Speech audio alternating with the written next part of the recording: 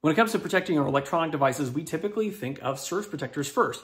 But what if I told you not all surge protectors are created equally? And more importantly, what if I told you that not all of them actually protect your electronics from surges at all, like this one here. This is in fact a power strip and not a surge protector. So if you have power strips in your home, you might think your electronic devices are protected, but in fact, they have no protection whatsoever. So first up, let's talk about some things you can look for when selecting a surge protector, and then we'll get into some more advanced things that you can use in order to protect your investment in your electronics in your house.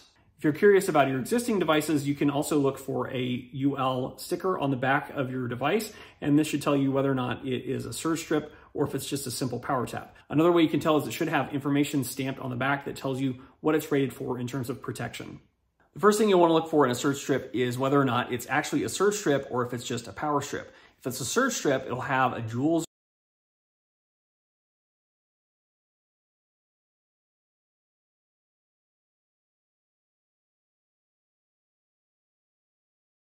existing surge strips, you might want to go ahead and replace those because if they're worn out and you have an electrical surge, then it's not going to do anything to protect your home devices.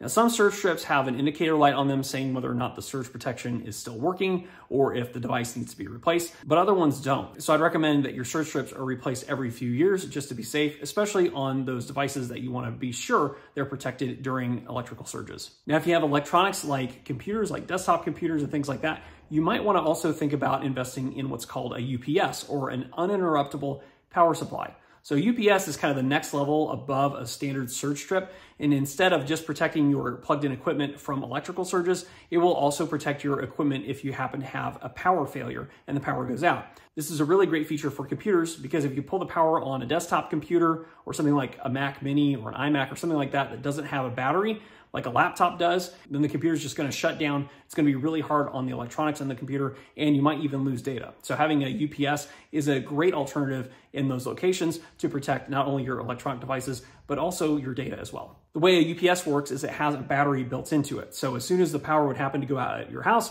the battery power would kick in and would continue to power the devices that are plugged into it. Another great feature for UPSs is that some of them will actually clean up the power too. So sometimes power coming out of your electrical station will be what they call dirty, which is just power that's not in a standard sine wave. It doesn't flow consistently, it's more jagged, and that's hard on electronic devices. So with some UPSs, this will actually clean up that dirty power and provide you clean power to your electronics, which will in turn extend the life of your devices. If you want specific product recommendations of things that can protect your house from electrical surges, I'll have a link in the video description below that you can go and check out after the video is over.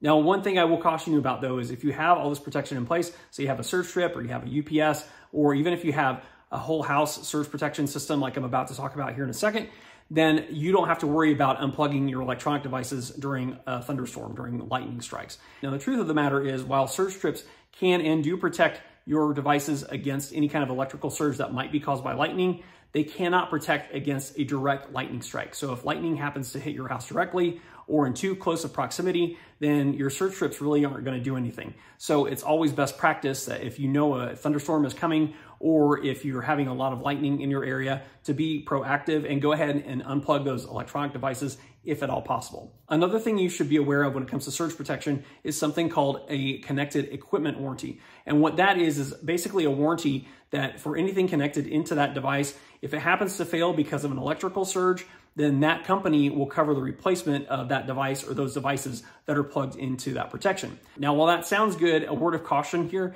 you wanna make sure that you understand the terms and conditions for those warranties because a lot of times they'll have statements in them that basically say things like if you have a direct lightning strike or some other conditions occur, that they still won't cover those devices that are plugged into that surge protection. So you just want to be aware of when you're selecting a surge strip or something else that protects your home electronics, that you understand what the warranty covers and what it doesn't cover.